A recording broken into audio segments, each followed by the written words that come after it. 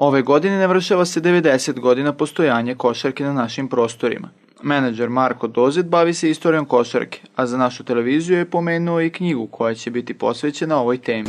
Pa pošto je ova sezona 2014. gotova, znači 90 godina košarke u Srbiji i čovjek koji je najzaslužniji što je ova knjiga izašla je profesor Petar Hrkić koji je i da kažem isfinansirao da ova knjiga se štampa i da zemlja Srbija bude u jednom velikom svetlu ovaj, obaveštena kako je, su tekli ti prvi koraci košarke na našim prostorima, na koji način William Weiland došao u Beograd koji je doneo loptu kada je krenula ta košarkaška čarolija i da kažem par profesora koji su najzaslužniji za taj početak košarke od Beograda, Novog Sada, Niša i, i tako dalje.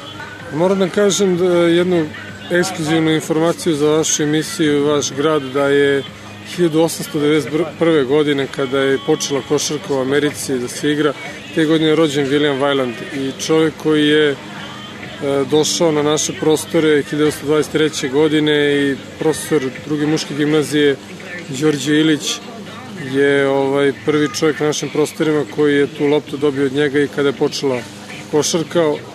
Godin dana kasnije u Novom Sadu je to bio Dušan ovaj, Ružić, čuveni profesor i u, u Nišu je to bio Svetozar Citanović koji je u Nišu promovisao te prve korake i želim da kažem da su ta tri profesora ovaj, najzaslužnija za početak košarke u Srbiji.